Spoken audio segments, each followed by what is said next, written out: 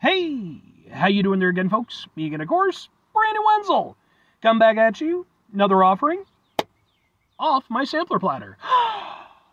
yes, indeed, folks, sampler review series videos I've been doing for a little while now. Go over there, try out food and drink items. I eat stuff, I drink stuff, then, folks, I'm going to talk about stuff. I'm going to let you know all that you need to know about hopefully delicious stuff that time I'm doing this, folks, I'm not going to lie. I just got off work and I'm pretty hungry, so I hope this is good. But we'll get to that. Folks, it's super simple format. I'm going to go over there. I'm going to try out food and or drink items for you. Whilst I'm doing so, I'm yammer on about it for a bit. Whilst I'm doing all that, I'm inside my truck. And whilst I'm doing all that, folks, I'm wearing grody work clothes. Typically, when I'm inside the truck and I'm wearing grody work clothes, that means I was on my way home from work and I found some shit to review for you. Excuse me. Uh, that is kind of the case today. I definitely did just get off work not too long ago. But actually, uh, I did not pick this up on my way home. I picked it up on my break because I went over there. I, you know, took my break and I was like, ah, you know what, man? It's been a little bit since I've hit up the 7 Eleven. So I went over there. I hit up the 7 Eleven, having a good old time. And I'm looking around for, you know, any potential items that might be tasty and or review worthy. And sure enough, they had a new item, and I was like, all right, Sounds like a reviewable thing. So, what is it? Where's it from? What are we doing here, folks? Boom! It's from 7 Eleven. This is their triple stack stacker, which is uh, smoked turkey and ham with cheddar cheese and jalapeno ranch sauce, all on a soft white sub roll. Did I hear sub roll? Yes, indeed, folks, because this is a sub sandwich review. What with it being a sub sandwich review, I have to preface it with three things very quickly. Number one, for over two years now, I've been going on sub sandwich adventures. What that means is I've been going out to chain locations, delis, supermarkets, wherever they sell sub sandwiches. I've been trying them, I've been reviewing them, and I've been posting them to my uh, YouTube channel. Now, that's where number two comes into play because I'm such a nice guy that I don't just post it to my YouTube channel. I also have an entire playlist called Subs for Subs. That is where all my sub sandwich reviews go. So if you're over there and you enjoy my sub sandwich stuff, hit that particular playlist up at the time I'm doing this. I have well over 100 sub sandwich reviews there, and that's where number three comes to play. Because maybe, folks, maybe that's still not enough. Maybe you're greedy for sub sandwich review and goodness. All you have to do is wait until Sunday. Why? Because Sunday is sub day. That is the day when I go over there and I upload my sub sandwich reviews to my YouTube channel and put them in the subs for subs playlist. So, if you like that stuff, just be patient. Every Sunday, you're going to get at least one sub sandwich review. But anyway, let's get to this. Let's give it a shot. Sounds pretty good. And, uh, okay. And these were definitely put out, like, recently. Like, I'm pretty sure I got the guy, like, right as he was going over there and uh, they were changing out the stuff, so. Okay. Which is going to be the better one? Yeah. I think visually this will be the better one. It looks like this, can we get a thing for you? Looks like this. Ha ha ha ha ha ha ha! Let's try out a sub sandwich from uh, 7-Eleven. It's been a while since I've had one of their subs.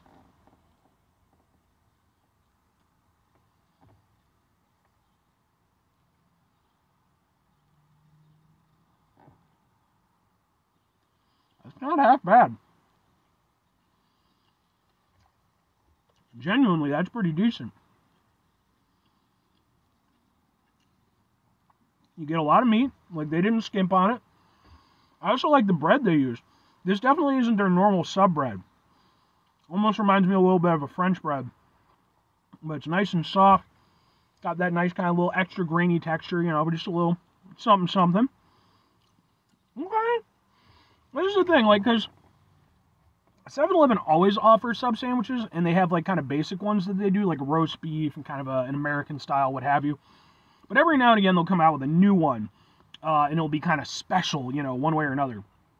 Usually, it's them bastardizing like some other nation's, you know, uh, food culture. Like they did like a banh mi style sandwich, um, and you know, so it's like they. The, the nice thing though is that even when they're kind of screwing up another culture's sandwich, at the very least, they're usually pretty good. It seems like they just put more effort into those than their normal ones and that, I would say, is represented here. Um, like I said, you're getting a good amount of meat, and it's actually tasty. Like, for being a pre-prepared sub that I got from a convenience store, it's actually not half bad, even a little bit.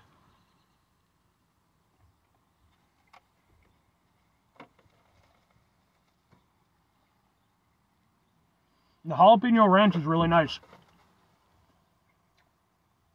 I think it would have been a decent sandwich even without that.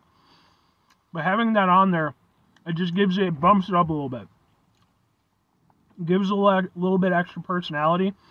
And kind of, you know, it gives it just adds something that makes it a little bit memorable, you know? Not super memorable, still, you know, convenience store sub, but like, I like that.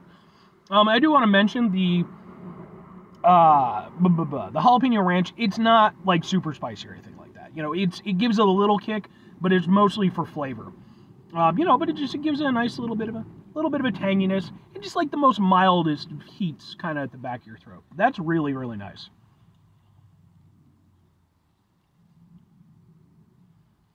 But yeah, honestly, this is genuinely a pretty good sub. Even the uh what was it?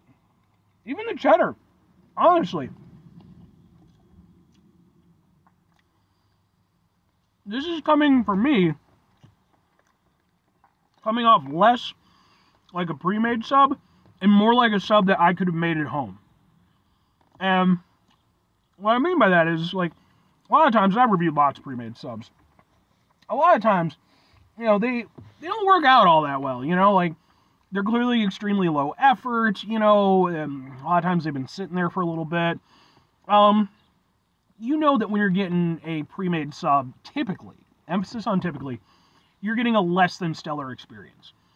Now, this is not, I wouldn't consider it a stellar experience. So I guess it is still technically less than a stellar experience. But it isn't like a disappointing experience either because well it's definitely not as good as like a proper you know like actual made sub by you know an actual location it seems like the type of sub that i could go over there and put together at home get some decent ingredients fill it up a decent amount you know just and then it's just that you know it's nothing super duper exceptional but it's a good sub and that is what i'm going to say what this is i think this is a good sub sandwich I am not only eating this for the review, I'm actually enjoying it. But two questions have to be asked. Would I get it again? Would I recommend it? I mean, I think for me personally, the answer is yes and yes. Um, honestly, if they could go over there and keep up the quality on this sub, I would say keep it. Make that a 7 Eleven branded sub.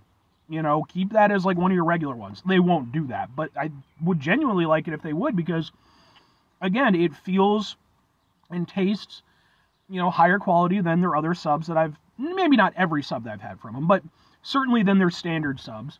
And it again, it comes off like a decent sub, you know. And again, I have to mention that you know that jalapeno ranch is just really nice. I like that extra kick that it gives it. It's a good pre-made sub.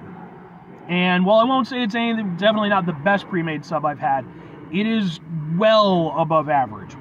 Well above average. So I think I would get that again. Uh, I don't know if I'd go out of my way for it, but then that's where, you know, whether or not I'm recommending it. It's still fundamentally a convenience store sub, even if it is a very good example of one. Uh, like I said, I, I wouldn't go out of my way for it. I'm not going to travel, you know, two towns over to hit up a 7-Eleven to try one. But nice thing about 7-Elevens, you know, at least here in the United States, you know, they're and actually in several other countries, they're pretty abundant. And, you know, this is one of those things where it's like, you know, I mean, I don't hit up 7-Eleven that often, but you know, maybe, you know, 2 3 times a week, some or not a week, a month, something like that. And it's one of those things where if I were to run into it, I would pick it up. And I think that's kind of how that should be applied overall is, you know, hey, if you happen to have one around you or you need to stop somewhere, maybe get some gas or whatever, um, if you want a sub sandwich and you want it to be, again, well above average and, you know, actually pretty good, go ahead and get one. It's pretty solid. About the only people who maybe take issue with it would be, you know, again, maybe if you take issue with the spiciness but it's it's really not that spicy. Five things before I get out of here. Have yourself a great rest of your day, spectacular rest of week, monumental rest of month, stupendous rest of your folks. Go there yourselves a truly, surprisingly good sub sandwich tastic rest of your life. Very final, there are final two things, folks. Number one, try to bring some positivity into the world. It's not always possible. It is, however, always appreciated. But what you do if can't do all time, I know I can't do all time. Here's what you're gonna do, folks. You're gonna try not to be an asshole. Folks, not always the easiest thing in the world to not be an asshole. Trust me. I know it. I live it. I'm out there every day with you in it. Life can be stressful and frustrating and just bullshit sometimes, folks. And when we find ourselves in situations where we have to deal with said bullshit, it's important we go over there whenever possible. Take a step back, try to mitigate the level of assholishness in our lives, hopefully do better for ourselves and for those around us. Very final thing, folks, do the thing. Whatever the thing is for you, that's what I want you to go out and do. Folks, here's what I want you to go out and do. Let me know. Are there any, you know, I, I, will call out for recommendations for places and stuff like that. But let me, I'm going to be a little bit more specific with this one. Are there any good pre-made subs that you'd recommend? You know, uh, you know, be it a gas station, a supermarket, something like that. If it is, let me know. I'd be really interested to kind of, you know, hear your opinion on them. Um, and if there's something that I should potentially look into myself, obviously, you know, needs to be kind of in Illinois, preferably around my area. But, you know, I'm sure I've been missing some as much as I've been doing these reviews for as long as I have. So, but anyway.